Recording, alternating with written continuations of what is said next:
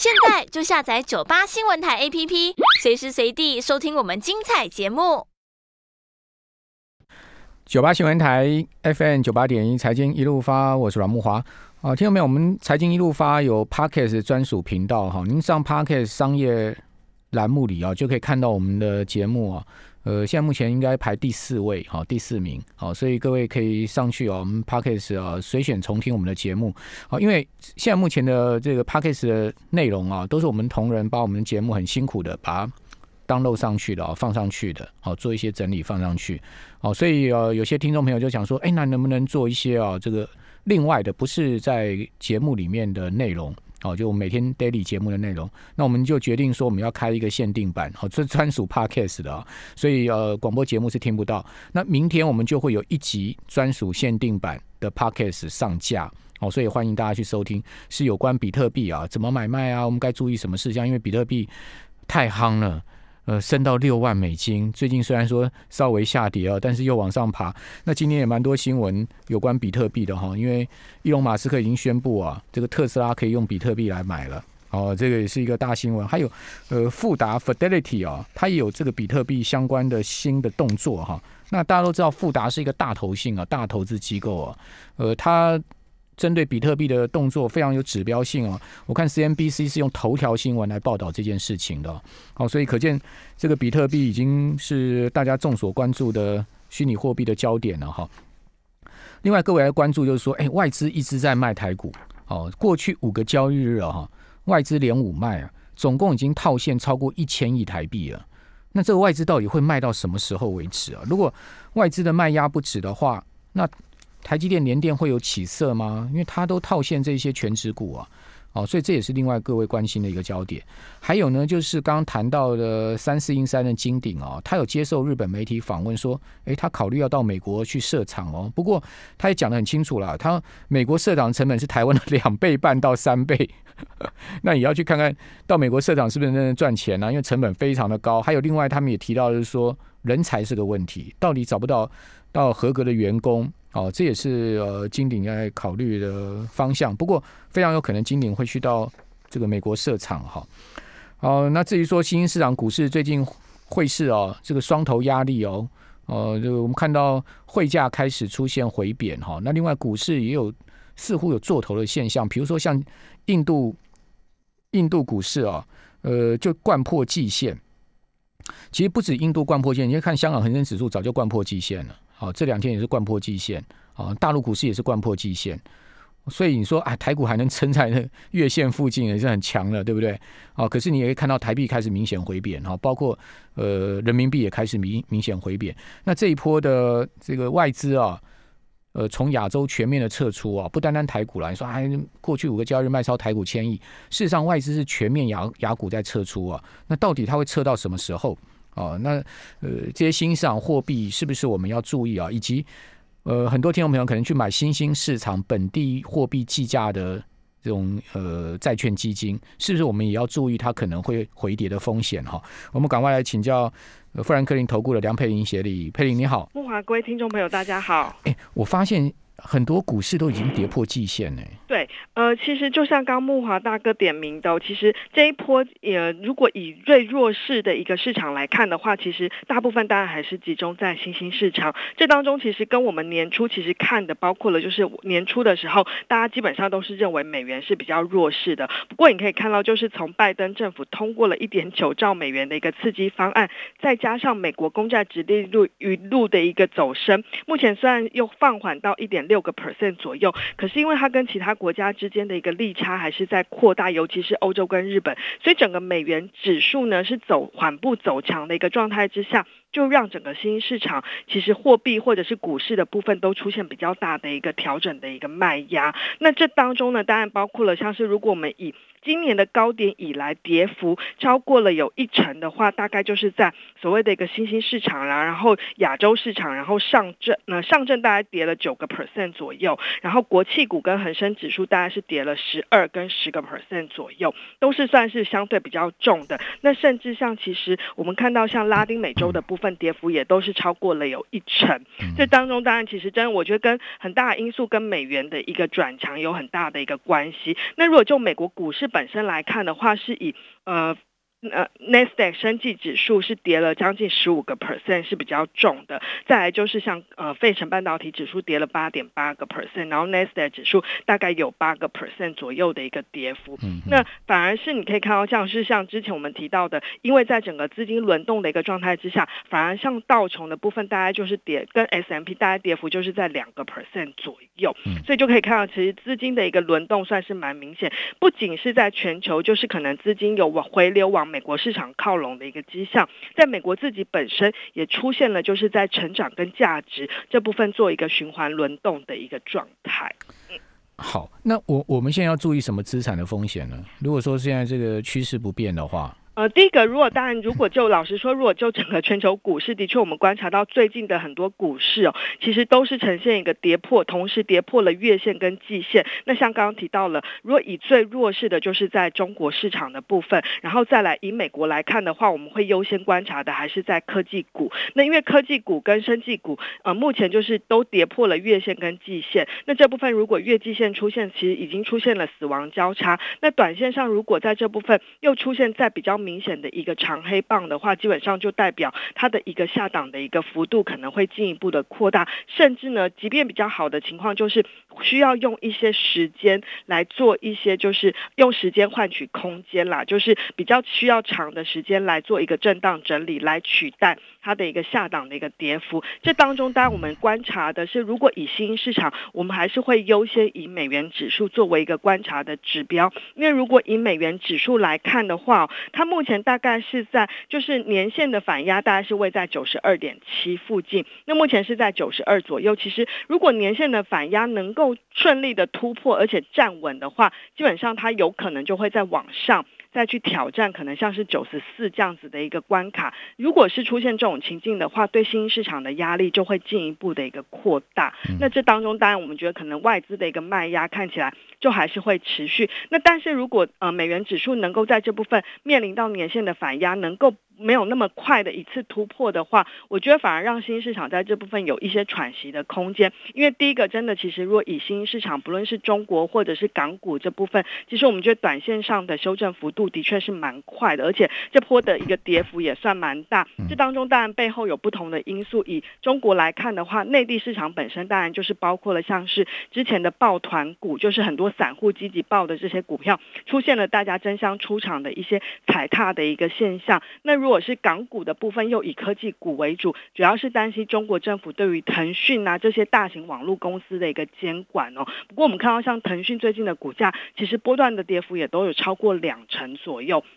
对啊，腾腾讯都跌到两成，这是这是很很就跟之前的阿里巴巴对啊有点类似的，很夸张哎，这市值是最大的公司哎，对，那这当然会对港股造成很大的压力。那我们觉得，其实这真的短线上都已经很嗯。反映在很大的一个，就是已经很急速反映在利空的一个状态。那我们看到像是这两天，其实呃北上的资金就代表了是外资的部分，其实已经开始慢慢有去承接在内地中国的内地股市。我们觉得这算是一个市场初步寻求要止稳的一个迹象了。但是因为它的一个呃资金回流的一个呃状态还并不是很明朗，所以我们觉得这部分希望能够先求止稳。那只要是止跌回稳在这部分，不要再出现。大幅度的一个下跌，至少就可以用时间来换取空间。这当中当然最重要的关键，第一个还是要看美元指数的一个部分。嗯，好，你你去看腾讯的周 K 线了哈？对，到这个礼拜是连六黑耶，还是 很弱。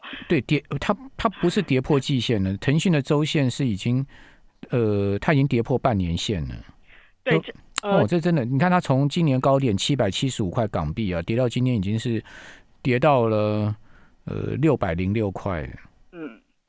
就两成。那你看，像阿里巴巴是跌二十八趴，然后像美团点评就是像我们做那个，对，跌了三三三十六个 percent。立讯更更是跌翻啊！立对，立讯也是属于抱团股的概念。对啊，立讯都跌了超过四成呢。对，所以呃，当然我们觉得说，第一个当然目前市场上是比较担心，因为中国。呃，最近的疫苗施打速度，其实，在亚洲当中还算是相对比较快，所以大家会觉得说它是 first in first out 嘛，就是率先面临到疫情，那也率先走出了疫情，所以对于政策这一块，一直还是有比较大的 concern。那我觉得这部分只要在接下来，包括了可能呃三四月份要公布像是一些信贷数据的部分，只要再度凸显出整个官方的货币政策其实并没有很明显的去收紧，那再加上整个筹码面的部分，经过了这一两个月的一个消化，我觉得短线上的卖压会开始慢慢的一个舒缓，只是说什么时候会出现比较明显的一个涨势，我觉得。中国市场可能短线还是需要一些时间来做一个消化啦。嗯，这要港府出来说好，我们那个股票印花税不调高了。你说上次调高印花税就跌的，那明白就是头部就是他造成的啊，他故意打压的啊。对，那刻意要压盘呢？那为什么他要刻意压盘？对不对？嗯，我我这也不可能是港府自己的决定。嗯，应该不是。对对啊，大家都知道嘛，很清楚嘛。那港府为什么要刻意压盘？可能就是说，感觉就是说要先先压下来，他防范一些事情，是这样吗？我觉得基本上，因为今年是中国呃共产党建党百年啦，然后又是“十四五”规划的第一年，所以今年的政策方向是比较力求在维稳的部分。那在股票市场的部分，也不希望说出现说很明显的一个过热。那因为之前真的像抱团股那种，都有一点投机的一个气氛，所以我蛮浓的。所以我觉得这部分以政策的方向，还是希望稍微维稳一点。所以这部分当然就短线上的一个投资心里面是需要去。习惯这种慢牛啦，或者是这种市场是需要比较谨慎啦，或者是回归基本面的一个策略。好，不过领跌的港交所今天倒是出现三趴的上涨哈。嗯，这波港交所也是跌的非常惨，从五百八十七块哈，呃，跌到今天盘中的时候最低曾经见到过四百二十一。好，那收盘收四百四十九哈，已经有出现一根红 K 拉上来的情况。好，我们这边先休息一下，等下回到节目现场。九八新闻台 FM 九八点一财经一路发，我是阮木华。好，怪的是哦，最近美国公债值率有明显的回跌了，哦，就代表债券价格有明显的回升哦。但是呢，股市也不涨哦，反而还是在那边盘啊、震啊、震啊，这到底怎么回事啊？我们继续赶快请教，呃，富兰克林投顾的梁佩玲协理。佩玲，先前美股跌，美股的压力很重，不是因为债券值率升的关系吗？那最近值率又回跌啊，那看股票也不涨啊。对，指数我讲不是我们当然讲股票不是呃，我们讲的是大盘呢，指数，它似乎也没有明显的。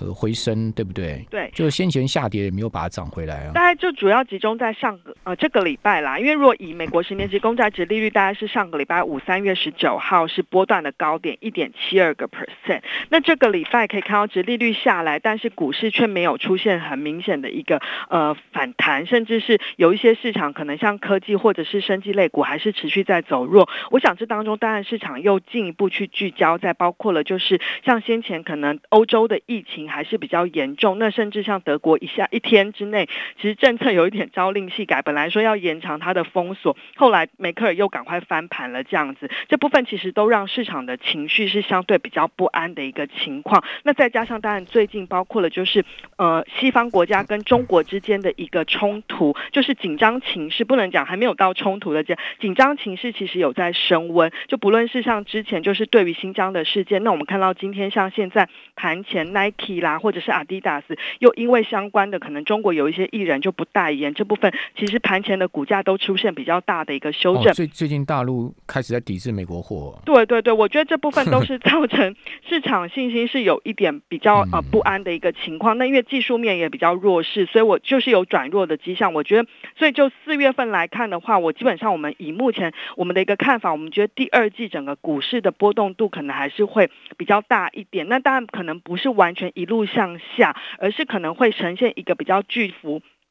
震荡的一个情况，那这当中呢，我们觉得可能短线上四月份第一个当然就刚刚提到了，在相关的一个技术面的部分，可能包括了像月季线的一个死亡交叉之后呢，可能就要进一步去回测，就是呃半年线或者是年线的价位。那当然，如果以美国股市距离年线其实都幅度都还蛮大的，都还有十几个 percent，所以我们希望能够在半年线就能够止稳这样子一个状况，可能相对市场是比较呃好的。那如果说真的不幸去跌破的话，可能大家还是。要做好，就是要增持一些防御资产，包括了像是一些传统的一个保守的一个债券这样子的一个配置。那第二个，当然还是要看四月份很重要，就是在企业财报的部分，因为以目前预估来看的话，S M P 五百大企业。第呃四月份要公布出来的第一季获利还是有二十二点六个 percent 的一个成长，其实还算是不错。但这一个还不是今年的最高峰，今年的最高获利成长率最高峰峰会落在第二季，那个年增率会高达五十一点二个 percent。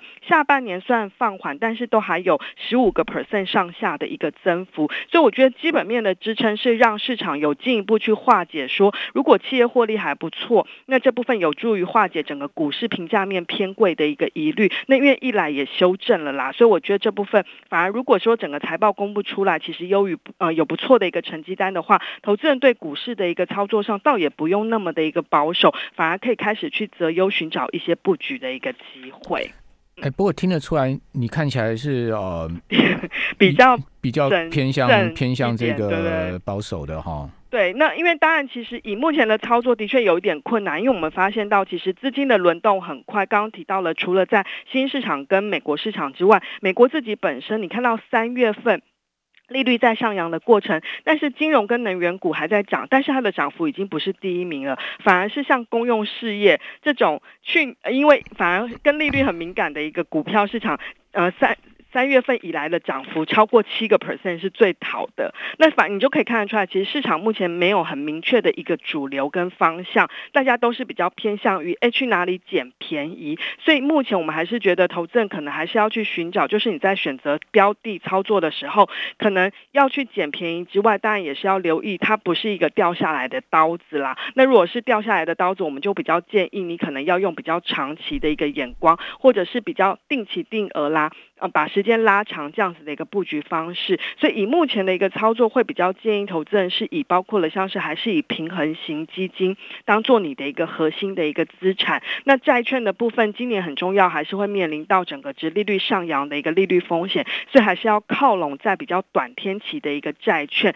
那刚一开始木华大哥有问到的，像新市场货币这部分，今年来其实的确最近出现比较大的一个修正。那我们觉得，如果在短线美元还是比较偏强的一个状态之下，可能还是以美元计价的一个，不论高收益债啦这部分，或者是像是以波湾债这种以美元计价，然后它性平又比较高，是可以投资人想要纳入投资组合当中去作为你一个分散股市风险的一个投资标的之一。那那整体的新兴市场债，如果是以呃非美货币计价的话，是不是要稍微小心一点？呃，当然这当中要看今年有没有去做汇率的避险。如果有做汇率避险的话，我觉得相对的一个波动风险就会相对比较小。那这当中其实还是要回归到看新兴市场货币。目前我们还是比较看好新兴亚洲的一个货币，虽然短线上有面临到外资撤出，然后可能货币有回贬的压力，但我们看到其实如果以今年来看的话，选主要的货币当中只有人民币还有印度卢比还是在升对美元还是升值的哦。那反而其他像拉美货币那些真的都跌得很惨，所以我们觉得还是会资金还是会去寻找财政体质比较好，或者是经常常盈余比较好的国家。这当中还是会以新兴亚洲市场是外资未来如果想要回流的话，我觉得新兴亚洲市场还是他们布局的一个首选。不过现在现在股市麻烦的地方在这边，就你刚所讲的、掉下来的刀子，嗯对不对？现在是刀子在半空中，还在半空中还没有看的，应该讲说刀子还在天花板，要掉不掉，但你也不知道它会不会掉，也许它这个还会再继续上去，也有可能，对不对？对，因为它就在那资金其实边摆荡还是很多啦，对，只是说它就是嗯现在的市场气氛就是情绪是比较不安的，所以它的波动跟摆荡就会比较大。股市是这样子，其实我我觉得股市不怕急跌，就怕换跌。